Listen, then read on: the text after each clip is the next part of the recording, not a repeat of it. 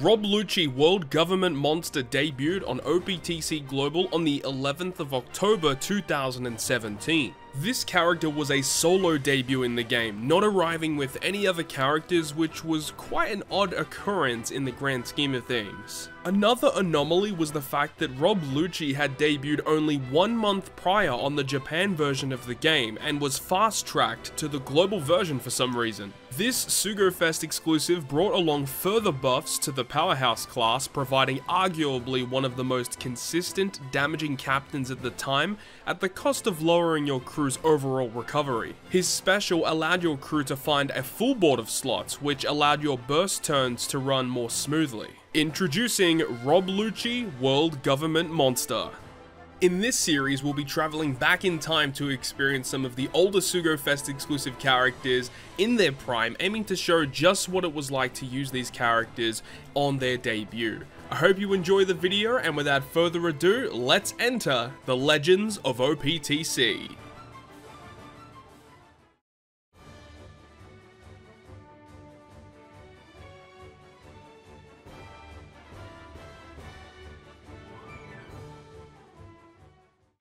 So thank you very much for checking out another episode of the Legends of OPTC series, and in today's video we're having a look, of course, at V2 Rob Lucci, which is a pretty interesting release, the fact that it, you know, it only released just on Japan, and then, like, almost to the day, like 30 days later, it arrived on Global, which was pretty bizarre. Um, you know, this actually originally debuted on Japan with V2 Law. Remember that Global actually received the V2 Quick Law um, a little bit earlier compared to the Japan version of the game, and when they originally debuted that on Japan, Rob Lucci debuted alongside him. So it was a weird kind of period at, at, the moment in terms of Treasure Cruise releases. But let's have a look at what Rob Lucci is capable of doing. Now, unfortunately, on the database right now, there's a couple of issues with uh, getting the images, so you won't be able to see his artwork in high quality here. Hopefully you guys saw it at the start of the video, but let's go ahead and break down what he actually does. He is a quick powerhouse shooter character with a captain ability that would boost the attack of powerhouse by 2.5 times, as well as giving them a 1.2 health boost, and then also reduces the recovery of powerhouse characters by 50%. This is quite detrimental, and then obviously if you have double V2 Lucci, you only get 25% of your normal recovery because it will calculate both 50% um, together, right? So it's it's actually quite a lot of recovery that you end up losing. Now, it doesn't look like a high attack power, however, every time you hit a consecutive perfect, the attack boost of your powerhouse characters gets increased. So it goes up to a 2.75 after the first perfect, then a 3 times, then a 3.32, and then a 3.6, and then the final perfect, if you hit all of your consecutive perfects, 4.026 times multiplier to your powerhouse characters. This was an immensely powerful captain effect, allowing powerhouse characters to rival some of the other best teams in the game, such as Strikers and also, you know, Free Spirits with uh, Timeskip Luffy, of course, and, you know, V1 Akainu was still uh, rumbling around. So there's uh, this is a very, very good captain effect at the time for powerhouse characters in general.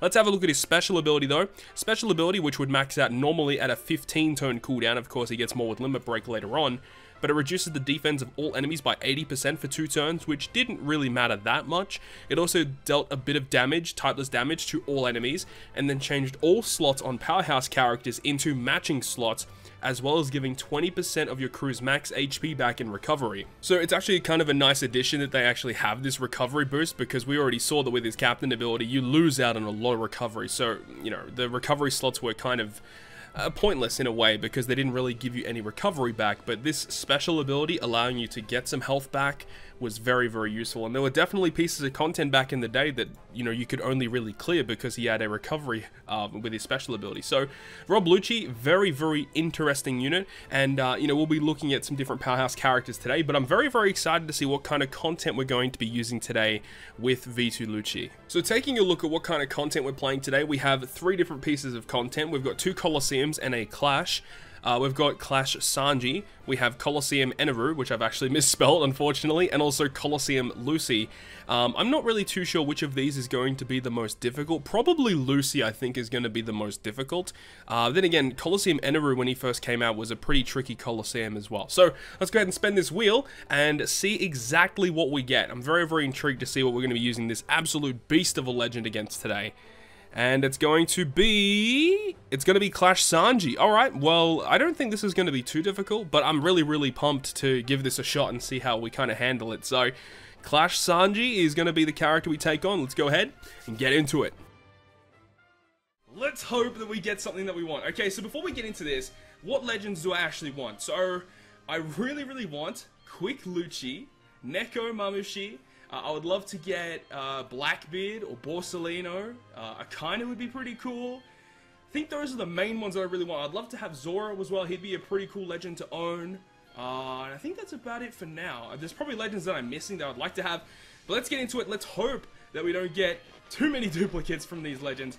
Let's go ahead and see what we get. First one, it's a red! let's see what it's gonna be. What's it gonna be? Yes! Yes! Quick! Lucci! Yes! Oh my god! Yes! Yes! Oh. We got Quick Lucci, boys! First pull! We got probably the number one legend I wanted the most. Oh my god! So we're in game now with my man Rob Lucci, member of the World Government CP9 Undercover Intelligence Agency, a master of the six powers martial arts to its ultimate techniques. His physical prowess is boosted as a Zoan type, the strongest devil fruit type, he claims, for aggressive attacks. So this is my man right here, Rob Lucci. Now, I have not uh, gone ahead and gotten a new copy of Lucci. This one right here is just another dupe that I had already leveled up. This one already was limit broken, unfortunately, so he does have one additional cooldown, and he actually does have an additional 100 cotton candy, which you typically wouldn't have um, if you had this guy, uh, you know, when he first came out, because limit breaking wasn't really a thing yet. Limit breaking is coming very soon, though, so I'm very much looking forward to that. So let's go ahead and uh, show you guys the team today. Now, this team does have a couple of characters that were not out at the release of Lucci, but we can't talk about V2 Lucci without showing you these characters, which is the Boa Sisters. The Boa Sisters were such an influential character, and they came out not long after Lucci debuted, so, you know, it's not the end of the world. But these characters are so influential, not only for both striker teams, but also powerhouse teams as well. These characters are immensely powerful because you have access to um, the Sandersonia, which can give you a full board of deck slots, give you an attack boost to your powerhouse characters, and then Marigold changes deck slots into matching, and then gives you a conditional boost against defense down, which I believe Sandersonia also inflicts to the enemy. So with Sandersonia and Marigold, you can actually get a full board of matching slots, an attack boost, and a conditional boost, and it was just so insane. The fact that not only was this working for powerhouse teams, but they both work for striker teams as well. And of course, we had Cat Viper, the legend that we talked about a couple weeks ago, being one of the best legends at the time. And it was, you know, due to the fact that, you know, strikers were very, very good. And these characters helping out Powerhouse makes Lucci and Cat Viper two of the best legends at, at this current point in time. But as for the other characters here, we've got um, Hody Jones making a reappearance here because we really needed damage reduction because, again, Sanji, he does do a death hit so we need damage reduction, so that's why we have Hody. And then we've also got Marco. I'm not too sure if we're going to need Marco, but he's just kind of like a filler unit. Wasn't really too sure who I really wanted to put on the team. But I'm very, very excited to jump into this today, especially because we're using the Rocket Man. I don't know if we used it again, but Rocket Man is a really good ship for Powerhouse teams. I'm not too sure when the exact release of Zunisha was on Global. If we had Zunisha at the time, you would definitely use that instead of this. But this is still a very solid ship that gives you very good HP recovery and also is a very good attack booster for Powerhouse teams in general. So let's go ahead and jump into the video. So shout out to my man, the Lord Shiro, for providing us with his friend captain, Rob Lucci. And let's go ahead and get this party started. Of course, no supports because they were not out yet, but I'm so excited to use V2 Lucci, one of my favorite legends in the game's history. I'm so excited to use him today. Let's jump into it against Clash Sanji, 60 stamina difficulty. Okay, here we go. Clash Sanji True Feelings, 60 stamina, 10 star difficulty. Now, I have absolutely no idea what is going to be happening here. Tandem and recovery are counted as non-beneficial, or they are counted as beneficial. Oh, okay, well that's actually very nice, so we didn't even need to use Zunisha realistically, but Zunisha was a very good ship for V2 Lucci because it does make perfects easier to hit, which was also another reason why, um, why, why Powerhouse was so incredibly strong. Now, of course, we need a stall. Um, we actually need uh, quite a lot of stalls, so hopefully we don't have to take too much damage here. Uh, would be nice to attack one of these guys. Hopefully there's a really good stall turn coming up with some turtles, because we're going to desperately need it. Um, of course, recovery slots don't really help us out too much, remember, because our recovery is reduced by by 75% between the two Luccis, so we have essentially no recovery here. Let's go ahead and attack again. Hopefully he doesn't do any nasty things. Uh-oh. Slot switch. Uh, okay, that's not ideal. I'll admit, it's not ideal, but it's, uh... Alright, well, it is what it is. Okay, we're moving on to stage two. Hopefully we get one of those turtle stages coming up soon. Stage two, uh, we have a couple of turtles. We definitely want to get rid of these guys on a one-turn cooldown. Okay, make sure to hit perfects as well. Beautiful. Dude, Rob Lucci is so much fun to use. I mean, consistently hitting your perfects can be definitely detrimental when you have to manually target different characters. I mean, this guy is so cool, man. V2 Lucci is so freaking wicked. Absolutely love this unit to death. Alright, so we're going to stall in these turtles for a bit. We probably don't need to stall that much. Um, I mean, we do need Hody Jones' special. That is going to be very important on the final boss stage. We need to reduce that incoming damage from Sanji. As I said, um, he does uh, provide himself a... Um, he has like a barrier, if I remember correctly. Uh, I'm pretty sure, I, I, just went off like just what was going on in my head, at least from what I remember with Sanji. I probably should have looked up what Sanji actually does. I hope that we have enough damage too. I just assume that, you know, we're going to absolutely wipe the floor with this guy. Um, so I guess we'll see what happens, right? So stage three, what have we got? We have some agents, okay. They're going to have some delay immunity, which is nothing special. And we can just, again, just attack. Uh, I don't even think we really need to stall at this point. Because this is still stage 3. Shine. my god, it's so satisfying to use V2 Lucci again. This guy's so awesome. I love this character so much. Move on to stage 4. Is there a mini-boss here? No. Okay. Oh, actually, that seahorse with a perfect barrier could be pretty annoying. That could be very, very annoying. I think we have to deal with that. we kind of have to deal with that. I remember when this first came out, people were using Golden Pound Usopp on this stage to delay.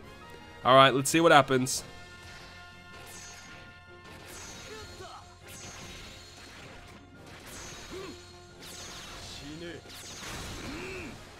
Okay, so we got through it and we killed one of the guys.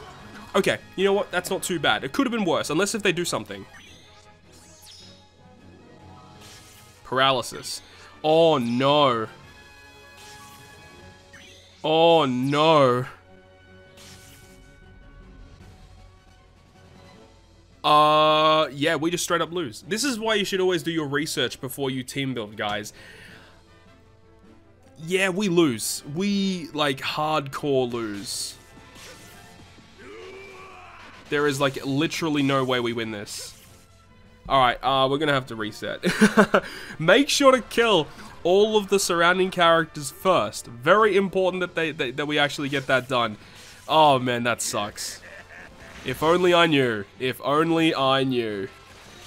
Alright, so we are back on Battle 4. Now this time we want to make sure that we actually kill all of these surrounding agents first. Very important that we do that. So, we've learnt our lesson the hard way. Alright, let's get this done. Let's get it done properly this time. Let's get it. Alright. And then we're left with the seahorse, and then he shouldn't do anything. Perfect, and now we can go ahead and kill him off. And move on to the final stage. Beautiful, alright. We're at the boss stage. Hopefully we're able to output enough damage against the, the Sanji though. That's the only thing I'm kind of worried about, a little bit concerned about. So let's see what happens here. So first of which he's going to apply a delay immunity so we are able to use the boa sisters. Okay, he does end of turn damage. So let's go ahead and use the Sandersonia special first, which is going to give us the full board of deck slots, gives us an attack boost, and then also does the uh, defense down to the enemy as well. So this is where Sanji applies a barrier to himself, right? Yeah, so it's a 5-hit perfect barrier, which is pretty pretty harsh, honestly. So now I can use the Sandersonia, which is going to change all of the deck slots into matching, as well as giving us a conditional boost against defense down. Such a good effect there. Also gives us a bit of... Oh, actually, ooh, you know what? I just realized. She also gives, I think it's a 60% damage reduction, if I remember correctly. Yeah, it is a 60%. No, we need to reset, and we need to use Hody first. Alright, so third time lucky this time around. Let's go ahead and use Hody Jones first before we use the Marigold special, so that we get Hody Jones's damage reduction before we get the Marigold one. So let's go ahead and use Marigold now, which is going to give us the uh, conditional boost and the matching slots. And we don't have an orb boost yet, so we're going to go ahead and use Marco, which is going to give us all of that health and give us an orb boosting effect, which is going to be super, super pog. And then we have Rob Lucci. Now, we don't have to use his special, but I'm going to use it anyway just to show you guys his special animation with, bam, the finger guns. All right, there we go. Full border matching slots, we get the uh, extra defense down reduction, but of course it doesn't really matter anyway. Uh, the healing, and now all we need to do is tap our perfects and secure that victory. So, he goes nothing.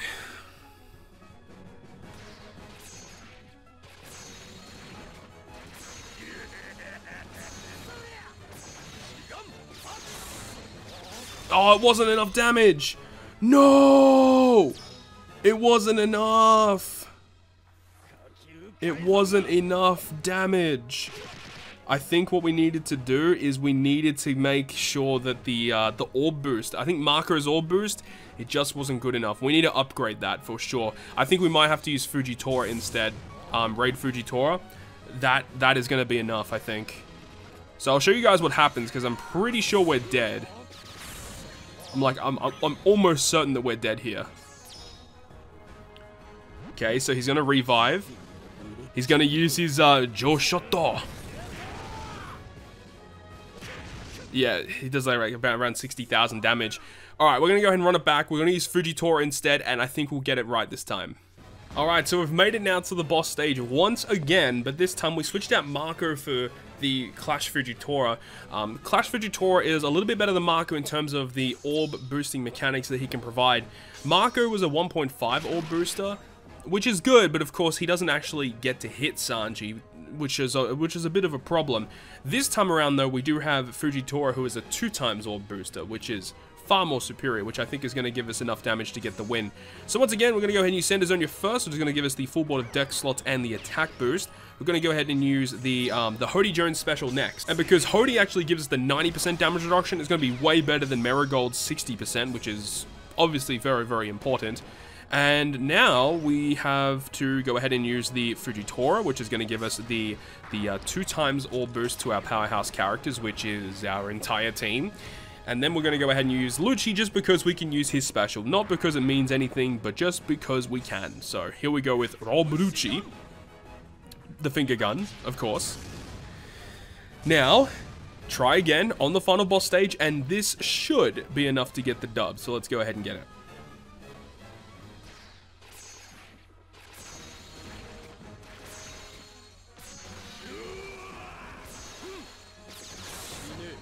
Yes, there we go. 7.9 million, nearly 8 million damage with two taps of damage. And hopefully Hody Jones can provide enough damage reduction to block the Sanji hit. It should. Of course it is enough. Yes, sir. Yes, sir. We can use the Rob Lucci special once again just to give us a full board of matching slots on this Sanji. And that's actually just going to get the win. That's beautiful. That is awesome just to finish it off with Rob Lucci special activation. So there we go. It took us a little bit to get there, but hey, without looking at what Sanji did just from memory, we got pretty close to getting it on the first try, which was wicked. So anyways, that is it. Really, really fun to use Rob Lucci once again. That is that is so good. I'm really glad that we're able to get that one done. So that's about going to wrap up this One Piece Treasure Cruise video, and next week's episode we're going to be going ahead and taking a look at Magellan. And Magellan is a very interesting legend. I'm really not too sure how we're going to showcase that one, but I think we should be able to find something pretty interesting for him. But really hope you guys have enjoyed this week's video. If you guys did, make sure you go ahead and leave a like, and if you want to stay up to date with all the content that I post, including more One Piece Treasure Cruise content, make sure to hit the subscribe button down below. But on that, guys, I'll see you guys within the next video.